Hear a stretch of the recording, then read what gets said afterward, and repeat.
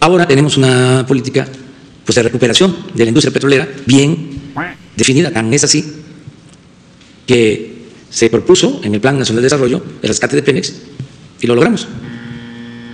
En un año se detuvo la caída en la producción y volvió a crecer la producción petrolera.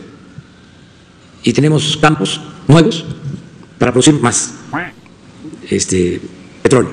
Estamos, como ya dijimos, rehabilitando las eh, plantas petroquímicas, construyendo la nueva, digo, las, las refinerías, construyendo la nueva refinería. Y algo que es muy importante, ¿cuál es el propósito principal de la política petrolera de México? No vender petróleo crudo, transformar la materia prima, el petróleo crudo, en México, producir en México las gasolinas, ser autosuficiente. Y ese es el esfuerzo que estamos haciendo. Porque somos de los países petroleros, no sé si el principal, pues estamos entre los primeros, a pesar de producir petróleo, de vender petróleo, somos de los países que más compramos combustible, gasolinas en el, el extranjero. Es una paradoja. Yo siempre digo que es como vender naranja y comprar jugo de naranja.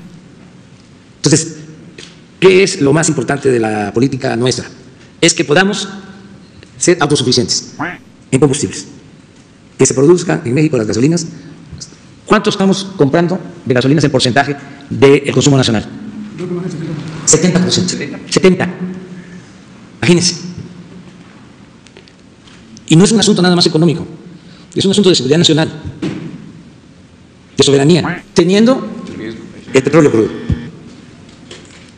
Entonces, por eso eh, es esta política. Y la vamos a continuar. Y tenemos que terminar la refinería y rehabilitar las que tenemos, aumentar la capacidad de refinación y no depender de la compra de gasolinas.